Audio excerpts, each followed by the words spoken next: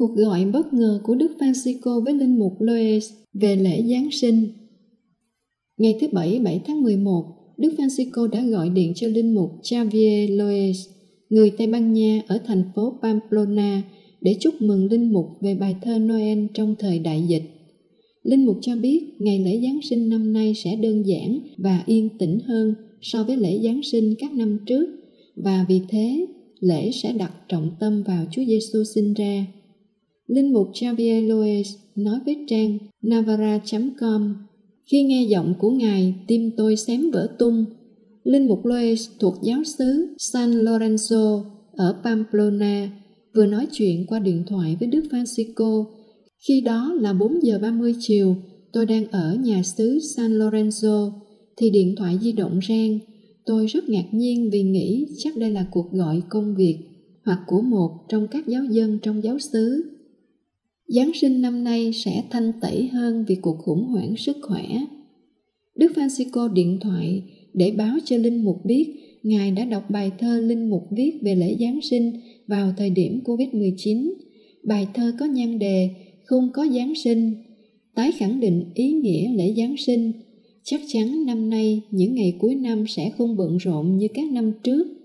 Đây là dịp để trải nghiệm sự yên lặng và bình an của Bethlehem. Cha Loes cho biết Đức Francisco rất thích bài thơ và tâm sự với Linh Mục. Vì cuộc khủng hoảng sức khỏe, lễ Giáng sinh năm nay sẽ được thanh tẩy hơn. Ngài nói với tôi, tinh thần Kitô giáo của thời buổi này đã bị đánh mất. Trang Navara.com đã đăng bài thơ của Linh Mục người Tây Ban Nha. Sẽ không có lễ Giáng sinh, tất nhiên là sẽ có, thinh lặng hơn và sâu lắng hơn, giống như giáng sinh đầu tiên khi Chúa Giêsu ra đời. Không có nhiều ánh sáng trên trái đất, nhưng với ngôi sao Bethlehem các con đường nhấp nháy của cuộc sống trong bao la vô cùng của nó. Không có các cuộc diễn hành hoàng gia huy hoàng, nhưng với lòng khiêm nhường của các mục tử đi tìm chân lý. Không có các bữa tiệc đông đảo nhưng với sự hiện diện của thiên chúa toàn năng, sẽ không có giáng sinh ư?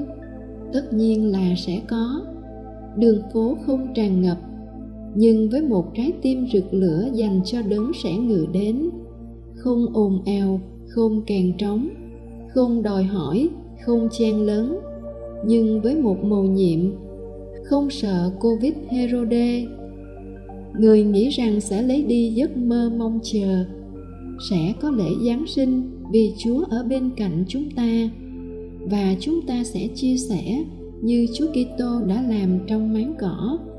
Sự nghèo khó, thử thách, nước mắt, lo âu, thân phận con mồ côi của chúng ta sẽ có Giáng sinh vì chúng ta cần của ánh sáng thiên liêng giữa bao nhiêu bóng tối.